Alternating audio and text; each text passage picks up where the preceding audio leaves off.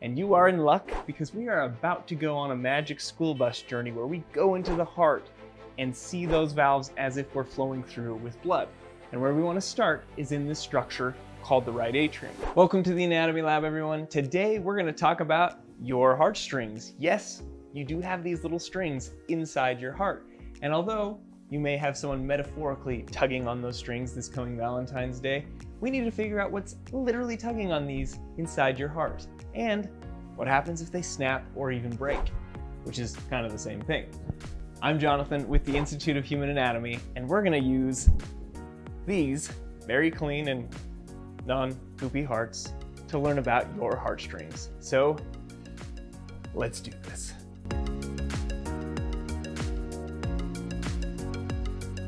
So first, some basic ideas about the heart.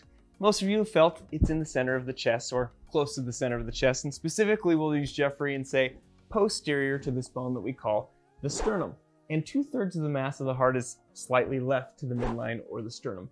Now, Geoffrey is super cool and cool to learn anatomy from, but you want to see it on the actual real deal or the cadaver here. So let's do that, but maybe put gloves on first this time.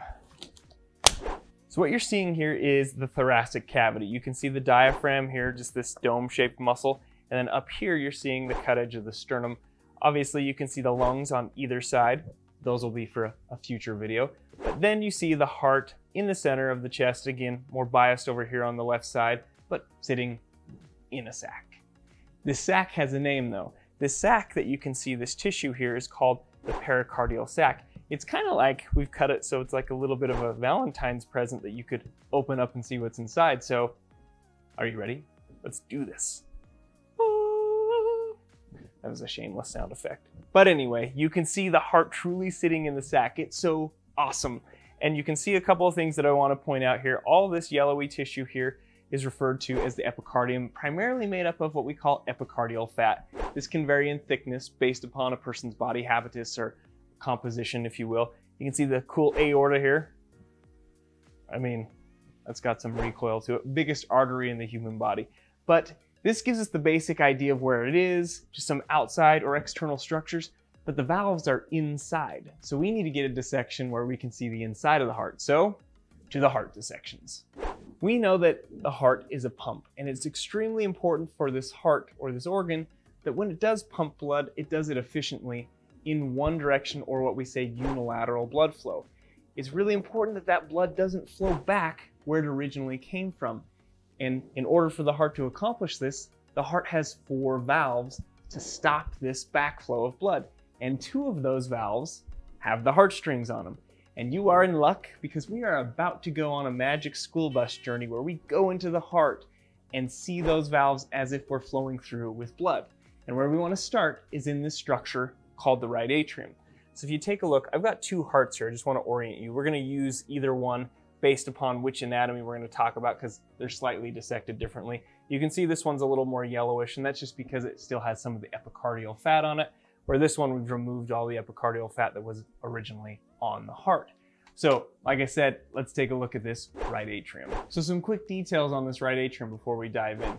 This is receiving deoxygenated blood and I'm opening up the chamber here, from the entire body. Essentially, this blood is deoxygenated because it's got a lot of carbon dioxide, other metabolic waste products, and the whole job of this right side of the heart is to get that blood to the lungs so we can get rid of the carbon dioxide and bring in new oxygen.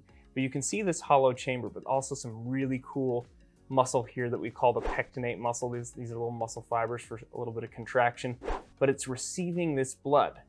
And now zoom into the magic school bus. So as you can see, we have entered this right atrium. There's that pectinate muscle on the right, and you can see this valve called the tricuspid valve because it's got three cusps that we're about to pass through. And here we go. And you can see there's this cool muscle called trabeculae carneae, which means little beams of meat essentially that you're seeing there. And then we turn upside down to look at the valves and freeze there. Can you see those white strings? Those are the heartstrings, and those are called the chordae tendineae. And let's zoom out and take a look at where we are. So that was super awesome, but I want you guys to take a look at these hearts here, specifically this one over here. Where we left off in our little magic school buses, we were all sitting down right here looking up at two valves. The valve we came through was the tricuspid valve. And look how freaking awesome this is. These, if I can hook them properly, are your heartstrings that I mentioned are called the chordae tendineae or sometimes pronounced tendinii. But those are the heartstrings attaching to the cusps right there. And again, there'd be three of these cusps because it's the tricuspid valve. And at the beginning, we post, uh, posed this question, what is tugging on your heartstrings? Well, take a look at this right here. This is called the papillary muscle. Papillary means nipple-like projection. So in other words, what's tugging on your heartstring? A nipple-like projection, which is this muscle that can contract here. And just real quick, since we're here, I wanna mention, I mentioned those little beams of meat there. Those were called the trabeculae carneae, and those are pretty awesome because they help the ventricle contract. Now, take a step back before we go back into the magic school bus, is we talk about these valves being like one-way saloon doors. For those of you who love the saloon doors of the Old West, those are fun because they flop back and forth either direction. Think of these as modified.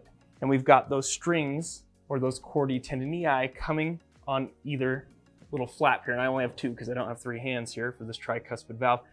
And when we enter in from the right atrium to the right ventricle, that just puts slack on those cords, no big deal, and they just passively allow the blood to come in.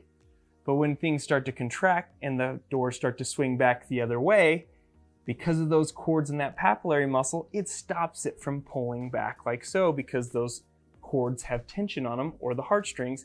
And if we need that papillary muscle to contract, it pulls and puts tension on so it won't flap back the other direction and allow blood to go back in the wrong chamber. We need it to go out the other valve where we left off in the magic school bus. So let's jump right back to where we were. If you remember, we were down in this sequence or this area of the heart looking up. So you can see as one valve is closed, the other one's open and vice versa. And you can see we're about to move up to this really cool little valve called the pulmonary valve. And we're about to go through this pulmonary valve because it's named after the lungs and that's what pulmonary refers to. And poof, we enter into the pulmonary trunk. And again, zoom back out. So if you take a look at this heart, we went up and instead of going back where we came from, we exited out a different valve and went out this structure called the pulmonary trunk that you can see right here. It's a tube like so, and I'm gonna show you another dissection on the other heart, but this is gonna take blood to the right lung and the left lung so we can get rid of the carbon dioxide and get more oxygen coming in. This is, again, just the same view of the heart, just a smaller heart, but the pulmonary trunk's opened up and you can see the pulmonary valve that I mentioned. These ones are a lot more sim simplistic, or this valve, and it doesn't actually have heartstrings and it just needs to let blood passively pass out. But if any blood tries to come back in, you can see these little cups will actually catch the blood before it would go back into the right ventricle. So of course we're gonna finish our journey through the heart on the Magic School Bus. Remember we left off by taking blood to the lungs, it was deoxygenated blood, get rid of the carbon dioxide, bring in more oxygen, it diffuses into the blood, and now we bring that back to the left side of the heart. A couple of things I want to mention before we go back on the bus. One is, remember I mentioned there's two of the four valves that have the heartstrings on it. We're going to see the second valve on the left side.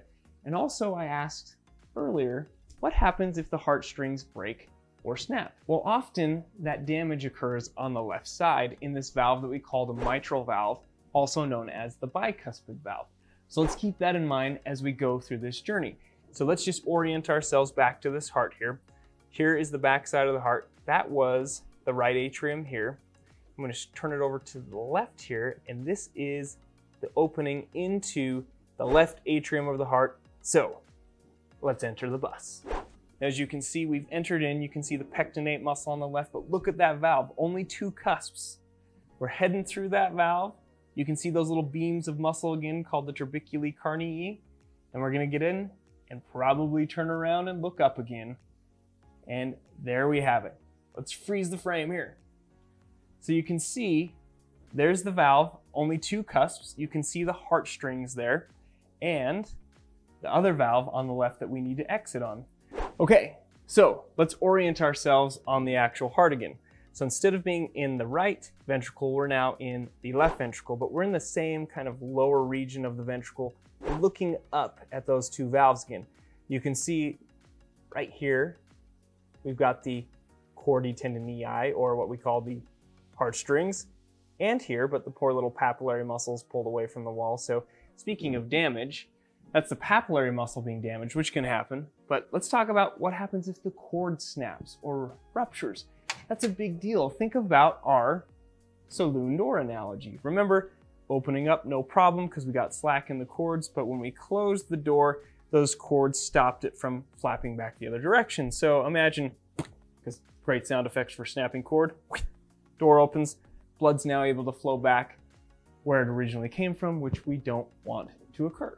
When a valve flops back the other direction that it's not supposed to, in the case that I just mentioned there, that's called prolapse, or in this case, bicuspid valve prolapse, or mitral valve prolapse, because that left-sided valve is called the bicuspid or the mitral valve.